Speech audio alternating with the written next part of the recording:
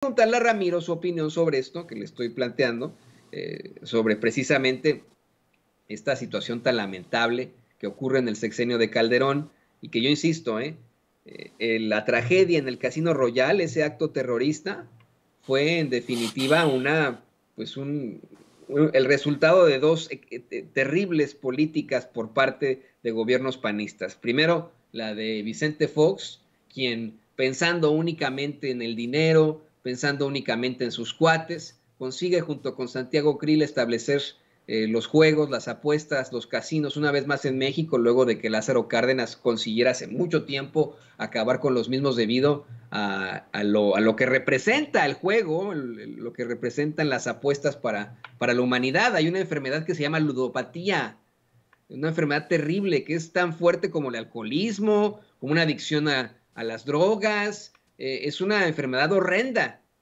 con la que las personas eh, se ven envueltas en, híjole, eh, pues eh, comportamientos de, dejarlo todo por jugar, por apostar, por estar en casinos y, pierden mucho, pierden, pierden sus casas, pierden sus autos, pierden a sus familias, no que las apuesten, ¿no? Pero pues en este tipo de situaciones sociales es, algo terrible, la ludopatía. Se había conseguido con Lázaro Cárdenas que eso se acabara para todos los mexicanos, que, que no hubieran más apuestas. Vicente Fox nos envenena a todos una vez más con los casinos.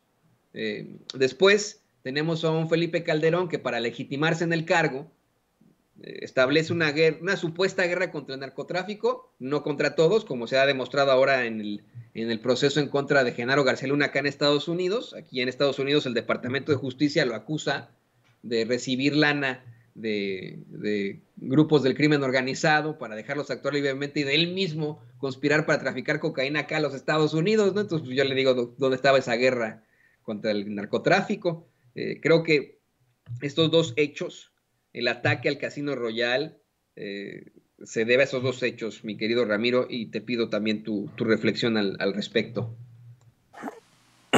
Es que si te pones a pensar, y nosotros lo pensamos, eh, obviamente Vicente Fox y Felipe Calderón con el país durante la, docena trágica, durante 12 años de ejercer el poder los panistas, fue pues obviamente destruir al país. Nunca había visto tales niveles de, de violencia como los que dejó el Partido de Acción Nacional. Yo de hecho pensaba porque iluso yo, porque fuimos ilusos eh, millones de mexicanos, que pensamos que al llegar Vicente Fox, de hecho hay, hay una anécdota incluso de, un hijo de, de, Enrique Krause, León Krause, creo que leí un artículo donde él daba una cátedra en una universidad y sus alumnos le decían que, que sí, que, que nosotros habíamos entrado a un periodo de democracia. Eso es lo que pensábamos nosotros. La realidad es que fue PAN con lo mismo, ¿no? Eh, el PAN siguió los dictados neoliberales de Cedillo y de Salinas de Gortari y pues nunca hubo justicia. Políticamente fueron exactamente lo mismo. Entonces por eso en el 2018 nosotros dijimos hasta aquí con el saqueo, ¿no? Hay que recordar eh, a, cuánto ascendía el salario mínimo en el 2018 y a cuánto asciende el salario mínimo a un poquito más aunque todavía no es ni la mitad de lo que tendría que ganar un mexicano en salario mínimo. pero en, sí solamente, no solamente ganabas un salario miserable, sino que tú salías a trabajar y no sabías si ibas a regresar vivo gracias a las balas por los carteles que operaban desde Los Pinos. Por eso García Palomino, por eso, por eso este, García Luna, por eso todo el círculo de, de Calderón está en la cárcel por lo mismo. Entonces, eh, Santiago Krill representa exactamente, aunque no sé, fíjate que, que reflexionándolo un poco, no sé si, si Santiago Krill hubiese ganado la candidatura del PAN y lo hubiesen impuesto, si Santiago Krill le hubiese declarado la guerra al narcotráfico como lo hizo eh, Felipe Calderón, porque es un cuate que tiene otro talante, pero, eh, pero, pero Santiago Krill igual no es un tipo que sea muy brillante, si no ha sido eh, este, una persona que ha medrado de la política. Es, no sé, te, te, voy a decir, es Adri, con, pero con el pelo blanco, ¿no? O sea, yo no, no veo ninguna diferencia entre ellos, ¿no?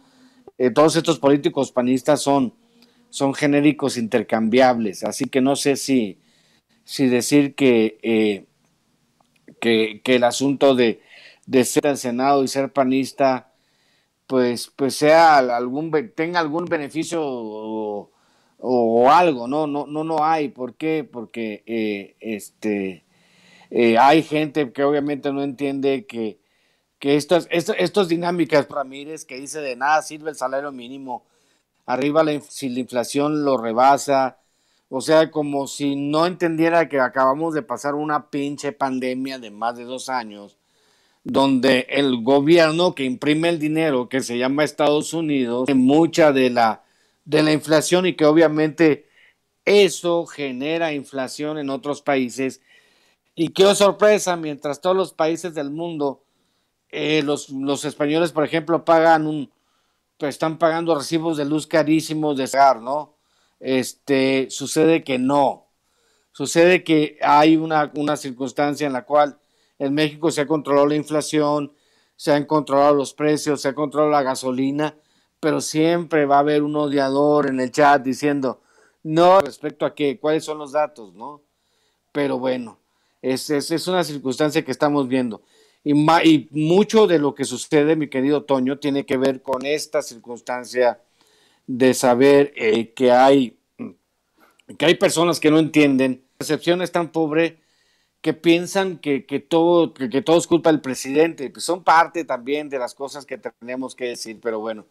Eh, en el caso de los panistas, que los panistas lo único que hicieron, hay que recordarles que, que por ejemplo, eh, eh, fue 8 billones de deuda externa y se fue con 5.8 billones de pesos de deuda y que en su activo tuvo más de 200 mil millones de dólares de excedentes petroleros y todo se, lo, se, se, le fue en gasto corriente y dice uno, pues panistas, ¿no? Pues absolutamente muy malos, pero bueno, es parte de tratar de entender que hay mucha gente que, pues tendría que estudiar un poquito más para saber de qué se trata el, asunto del funcionamiento del país, mi querido Toño.